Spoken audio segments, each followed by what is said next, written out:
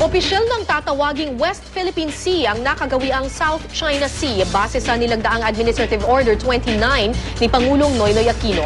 Iniutos na rin isama ito sa ating mga mapa para maipamahagi sa mga ahensya ng gobyerno, paaralan at maging sa publiko.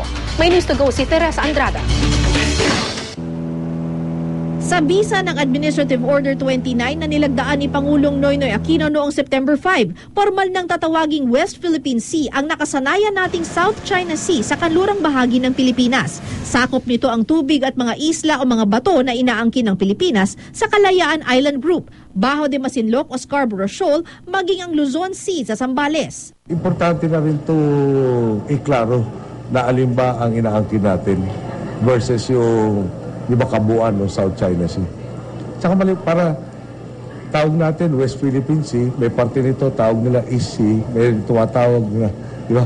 Kanya-kanyang tawag eh. Iklaro lang natin alin ba dito ang inaangkin natin. Kaya naman inatasan na ng Malacanang ang National Mapping and Resource Information Authority o NAMRIA na ilagay ang West Philippine Sea sa mga mapa at chart at ipamahagi sa mga ahensya ng gobyerno pati na sa Secretary General ng United Nations. Maging ang DepEd, CHED, state universities at colleges, inaatasang maglabas ng mga kalatas sa paggamit ng West Philippine Sea sa mga asignatura sa klase, research at instructional material, pati na sa mga libro.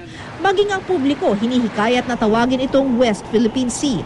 Sabi ng palasyo, di naman ito makakaapekto sa posisyon ng Pilipinas hinggil sa determinasyon ng maritime domain sa mga teritoryong inaangkin ng bansa. Dahil sa klaw ng EEZ, may karapatan daw ang Pilipinas na alagaan at proteksyonan ang mga islang nasasakupan nito at magtayo ng mga istruktura o magsagawa ng marine research. Effective immediately ang ipinalabas na AO29 ng Pangulo. Ito ay sa gitna ng usapin ng hindi natuloy na pulong ni Aquino at Chinese President Hu Jintao sa katatapos na APEC meeting sa Vladivostok, Russia. Gayunman, umaasa si Aquino na matutuloy ang pulong kay President Hu, lalo't ang China ang nag-imbita sa Pilipinas para sa isang dialogo. Still hoping na magkakaroon kami ng dialogue kung saan pwede magkaroon ng ah, heart-to-heart na talk at saka meron talagang ah, sharing of all of our thoughts no? in um, para in total honesty and openness. Parang there seems to be, uh, hindi ko naman sabing warmed up relations already, no? pero a little less cold than what it was. So that seems to be the way forward. Teresa Andrada, GMA News.